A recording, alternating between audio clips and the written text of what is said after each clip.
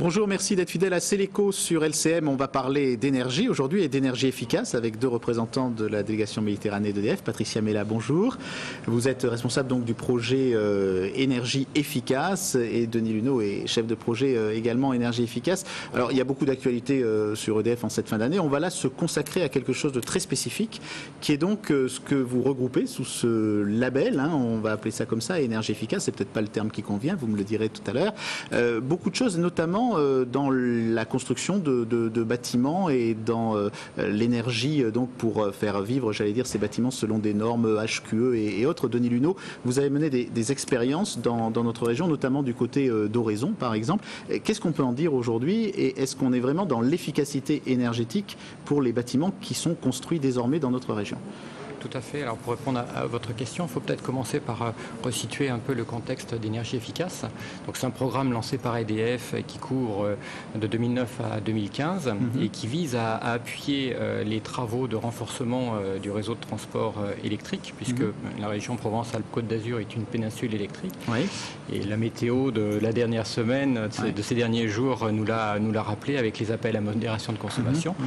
Et donc en appui de, de ces travaux, EDF a lancé certain nombre d'opérations mhm. pour améliorer la performance énergétique dans le, dans le bâtiment. on a vraiment une préoccupation aussi générale qui est l'approvisionnement de la partie est de, de, de, la région en, électricité.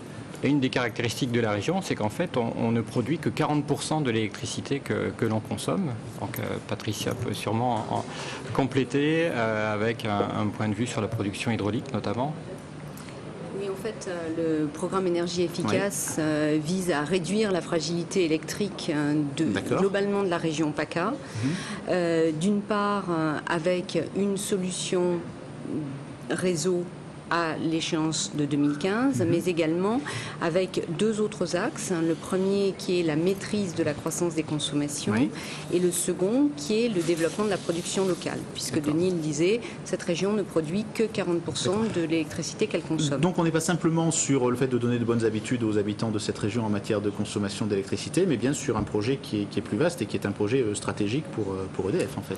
C'est effectivement un projet stratégique pour nous euh, dans cette région, puisque donc, euh, cette région, euh, comme le disait Denis, a deux caractéristiques. D'une part, son déficit de production par rapport à la consommation, mhm. et d'autre part, la structure du réseau de transport qui en fait une péninsule électrique. Donc effectivement, en cas notamment transport d'électricité, de transport d'électricité, oui, en cas d'avarie euh, sur le réseau ou en cas de très forte consommation, eh bien on a un risque, euh, un risque de coupure. Donc euh, on a mis en place un certain nombre d'actions pour pour réduire bien évidemment ce, risque de coupure. D'accord. Alors ça passe par un type donc d'organisation qui concerne tous les tous les acteurs de, de, la vie économique. Mais je voudrais revenir sur quelque chose. Vous avez parlé d'électricité hydraulique tout à l'heure. Euh, en termes d'électricité, euh, quelle est aujourd'hui la, principale source de production Alors pour notre région, c'est l'hydraulique par rapport au, nucléaire, par rapport à tout un type de, système de production d'électricité Oui, alors effectivement, en Provence-Alpes-Côte d'Azur, il n'y a pas d'unité de, production nucléaire. D'accord. Euh, la majeure partie de la production locale est d'origine hydraulique. Donc c'est les barrages en fait, hein, c'est ça ce sont, ce sont, les barrages, mhm. effectivement. C'est à peu près 40% à peu près de, de la production, euh, et euh, avec deux grandes zones de barrage. Une première, donc euh, tout ce qui est toute la chaîne Durance-Verdon, donc plutôt dans les Alpes de Provence, Serponçon, ces grands barrages.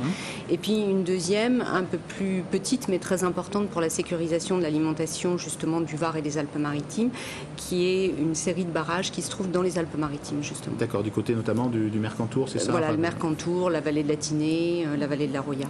Très bien. Alors on va revenir maintenant donc euh, aux consommateurs parce que ce qui intéresse le consommateur c'est de savoir un peu quelles sont peut-être les, nouvelles techniques que vous mettez en place pour euh, lui permettre de consommer de façon un peu plus, plus efficace. Donc je reviens à ma question initiale sur le, sur le bâtiment parce que là vous avez donc des exemples récents et qui concernent notre, notre région. Oui tout à fait. Donc euh, un des premiers axes de travail ça a été de faire en sorte que les constructions neuves dans l'habitat sur la région PACA bénéficient dès maintenant des dispositions de la réglementation thermique qui vient d'être voté et dont les dispositions seront mises en œuvre en, 2011 pour une application 2012.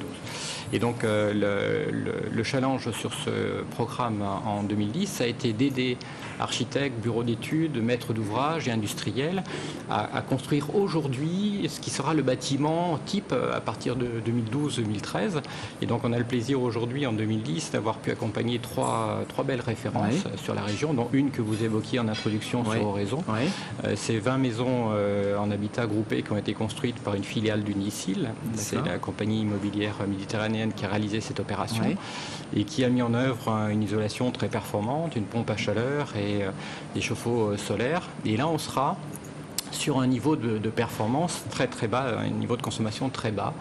Et euh, c'est une opération qui est une première euh, nationale euh, de, ce type, qui va être livrée dans, quelques jours et que nous allons suivre de près avec les laboratoires de recherche et développement d'EDF, puisque l'ensemble des consommations seront analysées usage par usage. Mhm. Et donc on pourra, sur cette région Provence, vérifier ce que produit effectivement, ce qu'impacte la nouvelle réglementation thermique. Et donc des économies à la clé, à la fois en consommation d'énergie et en production de, de gaz à effet de serre, puisque c'est un des objectifs euh, de, long terme qu'EDF s'est fixé. Patricia Mella, je suppose aussi que les relations avec euh, les mairies, euh, les conseils généraux, voire éventuellement le conseil régional sont, importantes, qu'il doit y avoir un relais important des, institutions pour vous aider à mettre en place ce programme, ou tout au moins pour le relayer auprès des, populations. Il y a quelques exemples assez spectaculaires, notamment du côté de l'Ambesque, je crois, sur des, systèmes qui, doivent permettre à la population de mieux se sentir concernée par ces questions-là. Oui, alors effectivement, il y a, je dirais, un, troisième axe de ce programme qui est la sensibilisation de, bien sûr, tous nos clients, mais également tous les habitants de la région mhm. euh, aux économies d'énergie et à la problématique de la, de la région PACA. Euh, l'important pour nous aussi, c'est de faire de, cette région un petit peu un laboratoire d'innovation, euh, de tester aussi des, solutions innovantes, et c'est mhm. le cas de ce que nous avons fait donc à Lambesque, sur la commune de Lambesque, dans le cadre d'un projet qui a été mené euh, avec le conseil régional euh, PACA et le pôle de compétitivité Cap Énergie, qui est un premier exemple de ce que l'on appelle un réseau intelligent, c'est-à-dire une expérimentation qui permet, euh, je dirais, presque à chaque instant d'équilibrer l'offre et la demande au niveau local, alors qu'effectivement, euh, traditionnellement, dans les systèmes électriques euh, centralisés, je dirais, l'équilibre offre-demande se fait au niveau national. Là, on a un exemple d'équilibre offre-demande au niveau, Et alors, local. Qu'est-ce qui pilote ce, que vous appelez ce réseau intelligent Alors, c'est un projet de recherche. Donc, aujourd'hui, euh, nous simulons des conditions météo mhm. particulières, donc des, alertes, des grands froids. il y a donc un certain nombre d'équipements qui sont installés chez nos différents clients et qui réagissent à ces, à ces alertes et qui équilibrent soit, la, soit qui injectent de la production, soit qui réduisent les consommations de manière à équilibrer toujours le système. D'accord. Euh, vos, installations également sont des installations qui consomment de, de l'énergie, donc il y, a, des efforts qui, euh, qui, sont faits. Vous avez euh, des, des, installations, des centrales qui évoluent aussi pour, pour consommer moins d'énergie et j'allais dire pour être, pour être plus, plus efficaces alors, euh, effectivement, non seulement on a. On, s'applique à nous-mêmes euh, nos, nos, propositions à nos clients. Donc, euh, on, a une volonté d'exemplarité au sein de ce programme. Donc, et pour ça, on, réalise deux choses. Je vais citer l'exemple, par exemple, de la centrale hydraulique de Brianne-Largue. C'est une centrale donc, qui se trouve dans les Alpes de Provence et qui euh, sera euh, inaugurée, euh, enfin, qui était une centrale hydraulique simple jusqu'à présent et qui vient d'être équipée de panneaux photovoltaïques, qui sera inaugurée donc le 13 janvier prochain. C'est la Brianne, hein, c'est ça, c'est à hauteur de la Brianne. C'est à hauteur de la Brianne, donc quand on passe sur l'autoroute, on, la voit sur le côté. Et donc qui produit eh bien, euh, maintenant à la fois de l'énergie hydraulique et de l'énergie photovoltaïque. D'accord. Donc ça c'est un exemple. Le deuxième exemple, c'est ce que nous faisons donc sur nos propres bâtiments. Donc euh, prochainement, nous allons construire euh, le siège de toutes les entités du groupe EDF à Marseille, donc dans la zone euroméditerranée, du côté d'Alard. Mhm. Et là, on aura un bâtiment basse consommation HQE. Que là aussi, on voit, on voit déjà marqué EDF hein, quand on passe sur la passerelle. il y en a, déjà, un. C'est un autre, hein, ça. Et ce sera un autre qui sera juste à côté. Dans, le, contexte d'Euroméditerranée 2, hein, d'ailleurs, dans, dans, la zone d'Euroméditerranée 2. Et puis, on, a effectivement, par exemple, on est en train d'équiper un bâtiment à Nice, donc où se trouve pas mal d'entités d'EDF, de, de systèmes de, dits de délestage, c'est-à-dire que au moment où les consommations sont fortes, entre 17h et 20h euh, en période d'hiver, eh bien, nous pourrons réduire l'éclairage, réduire les chauffages de manière à, limiter la consommation.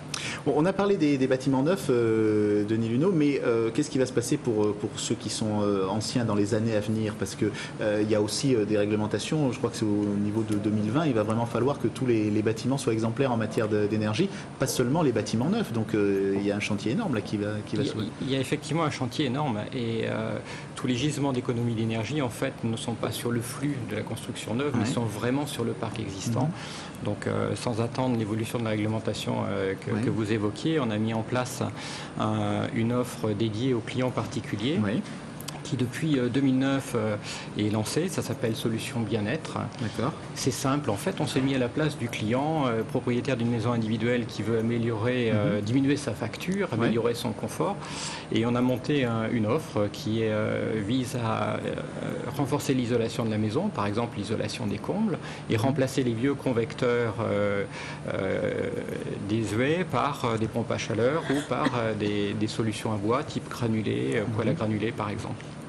Et ça, c'est un, concept qui, euh, réalisé par des partenaires euh, Bleu Ciel, bénéficie d'une éco-prime versée au client final de 1000 à 1500 euros.